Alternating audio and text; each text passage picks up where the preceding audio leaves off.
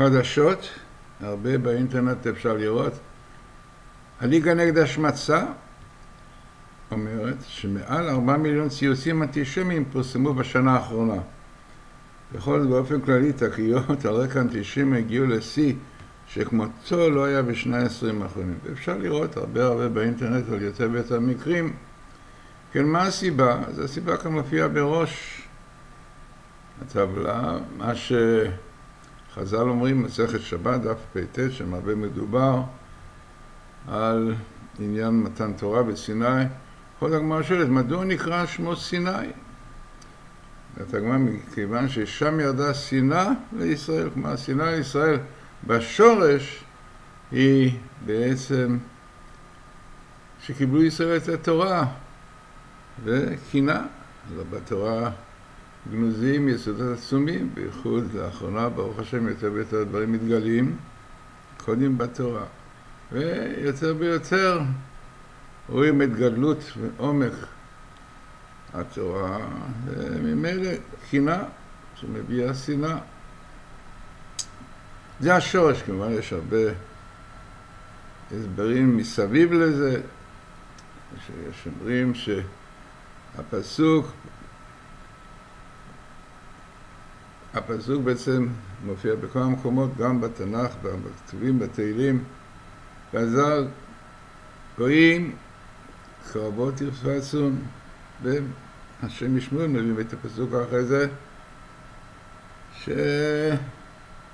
רפואת ירפצון, הוא מביא שם פסוק שאומר שהפך ליבם לשנוא עמו, מה שקרה במצרים, פתאום בהתחלה עברו את ישראל, יוסף, כן, הרבה יהודים, יוסף עם עזרים, אבל אחרי זה באה שנאה נוראה. זה במצרים, הפך ליבם לשנוא עמו, זה תהילים, ס"ח, וזה הסיבה. אתה יאכל חודש שלם, הוא אומר, שזה כאילו חדש, קם מלך חדש על מצרים, קם המן החדש, היטלר חדש, כן, משום דבר הם צומחים, וזה בעצם ההשגחה שבדברים, פתאום ממש משום דבר מתעוררים כאלה, וזה מראה שזה כוחות השטן מאחורי זה, ללא ספק. והכל זה בגלל התורה, אבל מה פה שהתורה, התורה, כפי שהתורה אומרת, אם בחוקותיי תשמעו, אם לא קללות חס ושלום. ומה גם פה? התורה, קיום התורה. מפורסם וידוע שמלחמת העולם, השור של השואה, מלחמת העולם השנייה, שפרצה בי"ז אלול בתורה, נקראו 98 קללות, רבים, הרבה מהם שורות לשואה, ומה כתוב שם?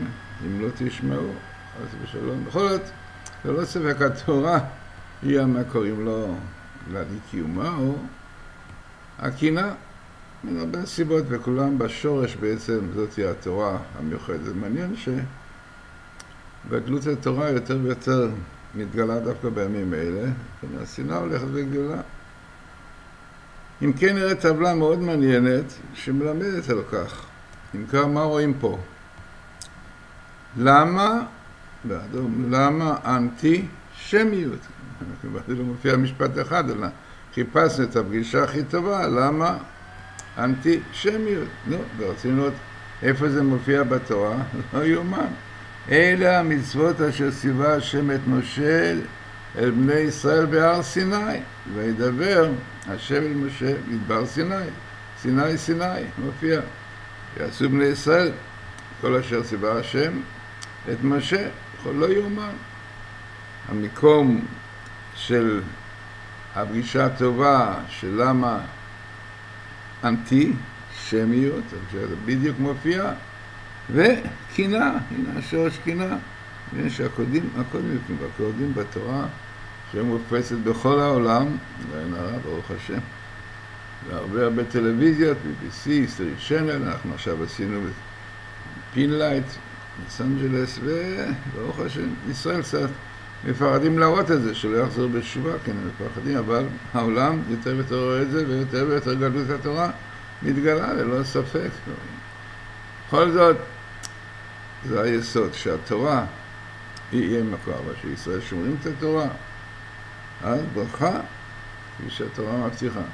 כן, טבלה מעניינת, כיוון אקטואלית, בימים אלו שהאנטישמיות הולכת וגוברת בעולם כולו.